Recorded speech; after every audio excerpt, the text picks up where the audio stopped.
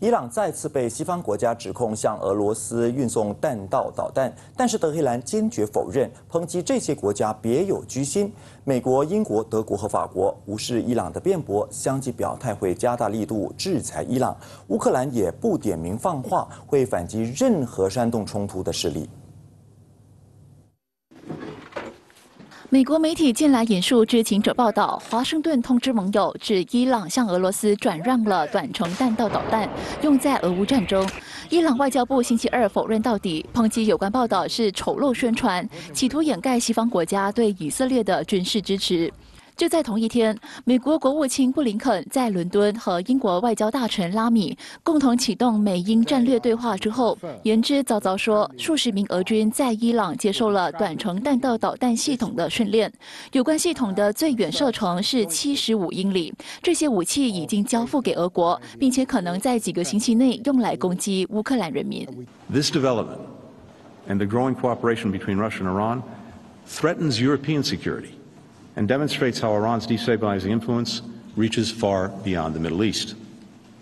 For its part, Russia is sharing technology that Iran seeks. This is a two way street, including on nuclear issues, as well as some space information. We're seeing a disturbing pattern of greater Iranian support for the Kremlin's illegal war. And we discussed today our shared commitment to holding Tehran to account for their undermining of global stability. 伊朗的举动惹怒西方国家，美国、英国、德国和法国表态将对伊朗实施新的制裁，包括向伊朗航空开刀。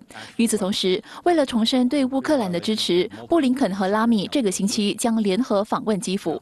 另一边厢，美国五角大楼承诺会与欧洲及中东的盟友和伙伴密切关注事态发展，并坚定支持乌克兰防御有关导弹系统，免得对乌克兰人民构成威胁。对于伊朗的所作所为，乌克兰外交部也表明完全无法接受，并警告这会对乌伊关系产生非常严重的后果。外交部前一天召见伊朗临时代办沙赫里亚尔时，已经把话说在前头。Я не буду уточнювати зараз, що саме мається на увазі під руйнівними наслідками, щоб не послаблювати дипломатичну позицію. Але можу сказати, що всі опції, включно з тою, яку ви назвали, є на столі.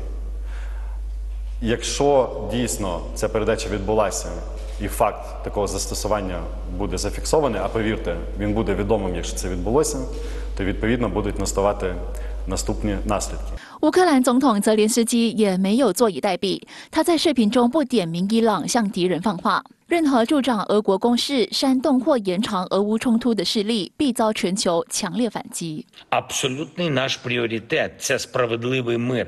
І на кожну ракету, на кожен дрон, і на всі ворожі кроки, на кожну спробу зробити цю війну довшою і жорстокішою, неминуче буде відповідь світу. Ми забезпечимо необхідну єдність світу, як би це не було нам складно. 泽连斯基也警告那些支援俄国总统普京的人，乌方必会竭尽所能，不仅仅是保家卫国，也为了展现真正团结一致的世界。